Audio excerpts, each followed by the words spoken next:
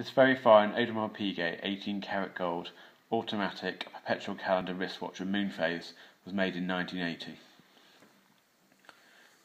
It comes complete with its original box, certificate of guarantee, extra paperwork, the original strap with 18 karat gold deployment clasp, and gold pushers for operating and advancing the dates.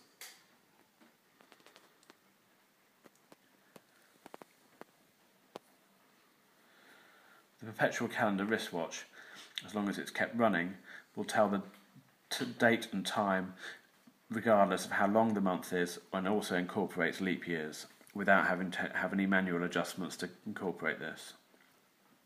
In order to wind the watch, as I said, it's an automatic watch, so it'll wind itself on the wrist. But order, if the watch is laying dormant, in order to wind it, just turn the crown away from the wearer a few turns to be enough to get the watch started. In order to change the hand setting, pull the crown away from the body of the watch. You can then advance the hands and push the crown back to the original position.